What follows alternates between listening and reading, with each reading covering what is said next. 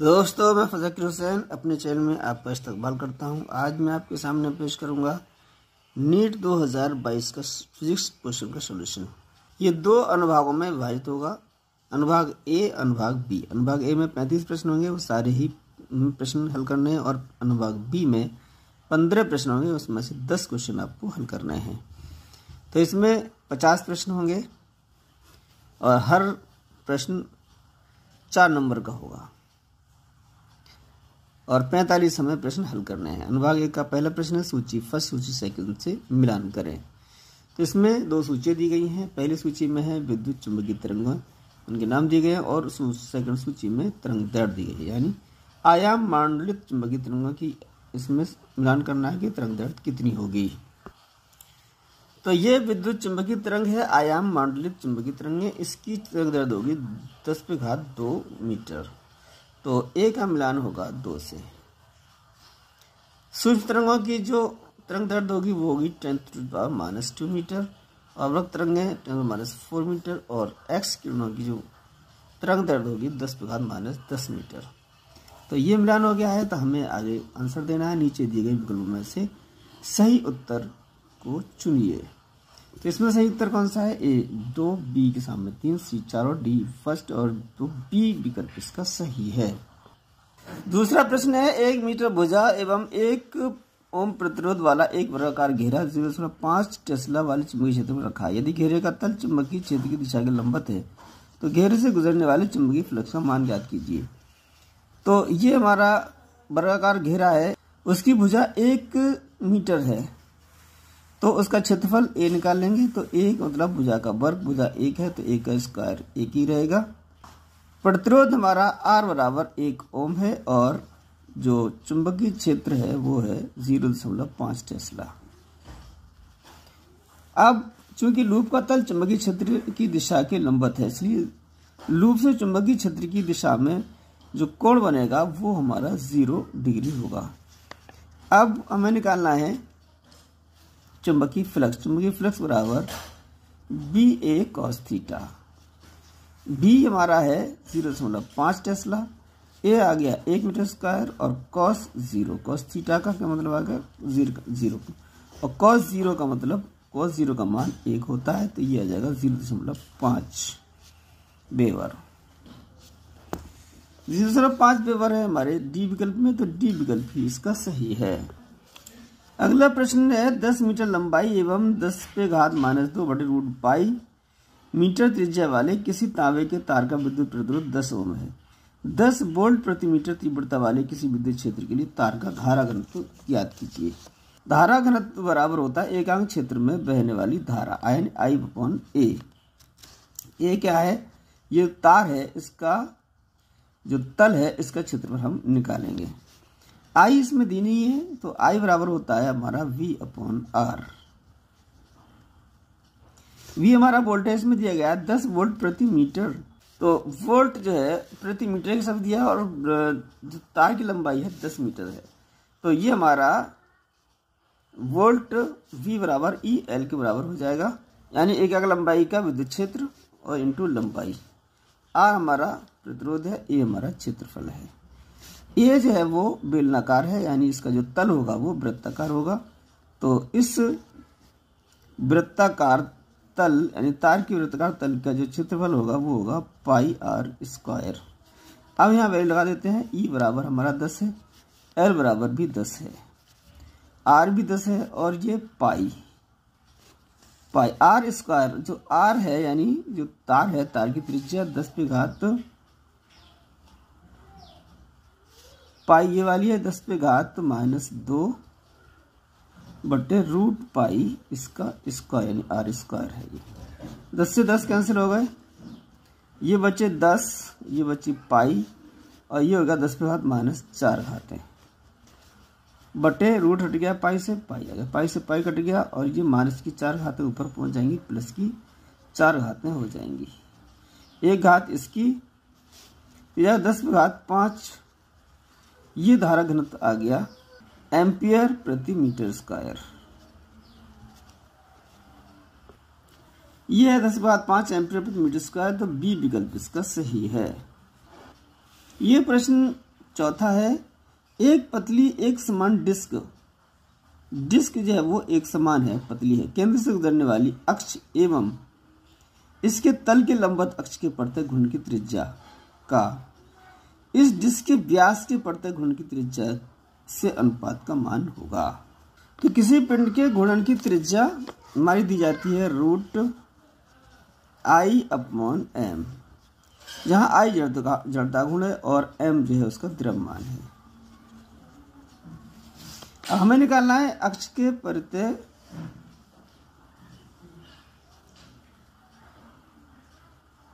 केंद्र से गुजरने वाली अक्ष के। इसके तल हमें निकालना है कि केंद्र से गुजरने वाली अक्ष एवं इसके तल के लंबवत अक्ष के प्रत्यय गुण त्रिज्या और व्यास के प्रत्यय गुण त्रिज्या के अनुपात। तो हम अगर के वन के टू ले लें तो ये हो जाएगी हमारी एम जो हमारा क्या है कांस्टेंट हो जाएगा I one upon I two जहाँ हमारा आई वन होगा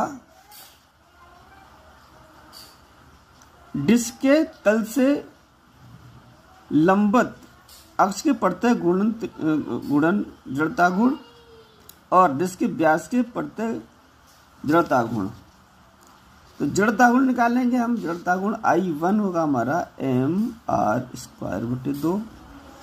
ये अक्ष के प्रत्यय है और आई टू बराबर होगा M R square upon four यानी व्यास के प्रत्यय डिस्क के व्यास के प्रत्यय जड़ता कोण। अब के वन अपॉन के टू गुणन त्रिज्या है।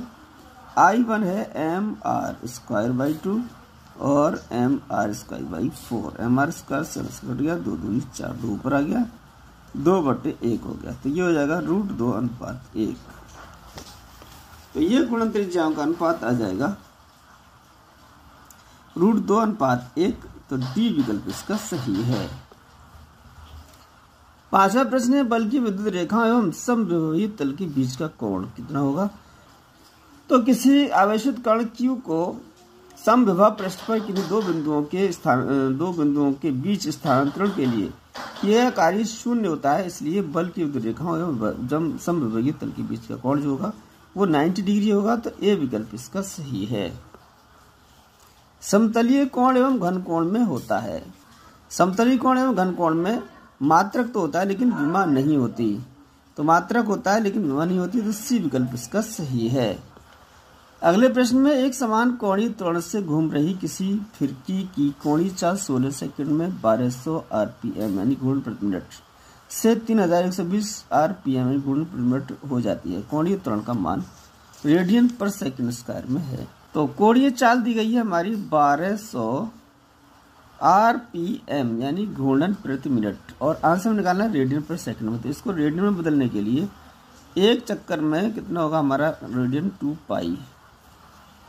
तो इसको रेडियन बदलने के लिए टू पाई का हम गुणा कर देते हैं। टू पाई गुणा एक हज़ार दो सौ। अब ये हो जाएगा रेडियन पर मिनट। अब ये रेडियन पर मिनट आएगा, हम रेडियन पर मिनट की जगह रेडियन पर सेकंड निकालना चाहते हैं तो साठ का भाग और दे देंगे इसमें।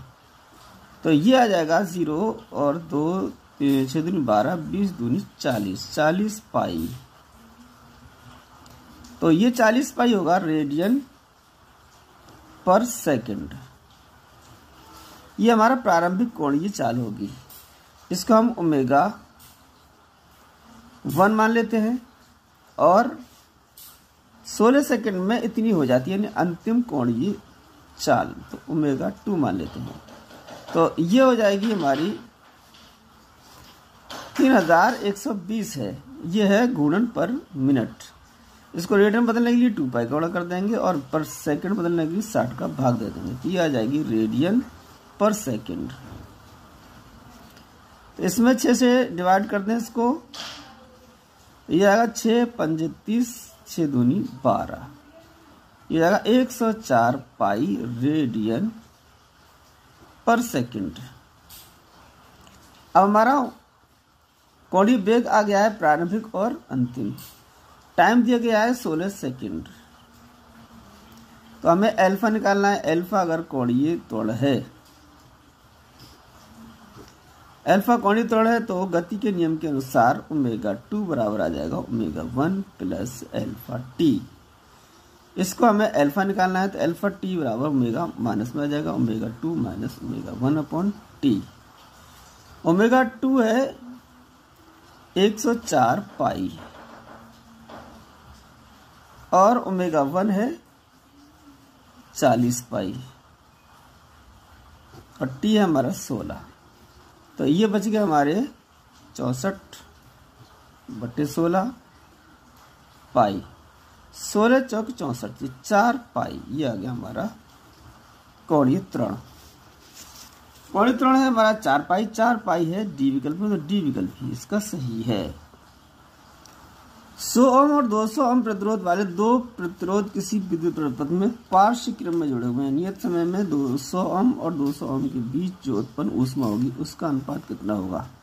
नियत समय में उत्पन्न ऊष्मा जो होगी, वो H one upon H two ये एच होती है हमारी V square T upon R यहाँ पर दो हैं तो यहाँ पर R one B square T upon R two नियत, समय नियत है और पार्श्व क्रम में जुड़े हुए हैं। अब प्रतिरोध तो वी भी हमारा कैसा हुआ? समान होगा। तो ये आ जाएगी R two upon R one तो आर टू हमारा दो सौ है आर वन सौ है ज़ीरो ज़ीरो कट गया। तो ये जो अनुपात होगा, वो उसमें होगा। दो अनुपात एक होगा। तो दो अनुपात एक है डी विकल्प में तो डी विकल्प इसका सही है। नगण्य भार 10 मीटर की लंबाई, क्षण की लंबाई है। 10 मीटर 10 किलो 20 किलो। लगे हुए, ये छड़ है हमारी, ये इसकी वज़न है, वो नगण्य है, इस इस तरफ़ 10 किलो वज़न लटका हुआ है, इस तरफ़ 20 किलो वज़न लटका हुआ है। तो 10 किलो से कितनी दूरी पर इसका द्रव्यमान केंद्र होगा? तो द्रव्यमान केंद्र हम यहाँ मान लेते हैं, इसकी दूरी x मान लेते हैं, ये पूरी 10 है तो ये हो जाएगी 10 माइनस एक्स द्रव्यमान केंद्र से बाएँ तरफ़ का बलागुण और दाएँ तरफ़ बलागुण बराबर होगा। तो ये हो जाएगा दस एक्स बराबर दस माइनस एक्स इंटू बीस। तो ये हो जाएगा हमारा बीस एक्स, दस एक्स, और ये हो जाएगा प्लस के बीस एक्स बराबर बीस दाई दो सौ। तो जाएगा तीस एक्स बराबर दो सौ। तो एक्स बराबर आ जाएगा दो सौ बटे तीस। ज़ीरो ज़ीरो कट गया, ये आ जाएगा बीस बटे तीन मीटर। ये दस किलो वज़न से बीस बटे तीन मीटर दूरी पर इसका द्रव्यमान केंद्र होगा बीस बटे तीन। डी विकल्प में है तो डी विकल्प इसका सही है। अगले प्रश्न में नीचे दिए गए चित्रानुसार चित्र दिया जाएगा, कोई आदर्श गैस का एक समान अवस्था से आरंभ करके चार अलग अलग प्रक्रमों से गुजरती है रुदोषम प्रक्रम, समताली और समताबी और समांतरिक क्या एक, दो, तीन, चार से ये प्रश्न प्रदर्शित हो रहे हैं तो रुद्धोषम प्रक्रम जो है किससे प्रदर्शित होगा? तो रुद्धोषम प्रक्रम में रुद्धोषम प्रक्रम में बाहर से उष्मा का आदान प्रदान नहीं होता है तो ये दो जो दिखाई दे रहा है, वक्र, इससे रुद्धोषम प्रक्रम प्रदर्शित करेगा तो ये है दो डी विकल्प में तो डी विकल्प इसका सही है।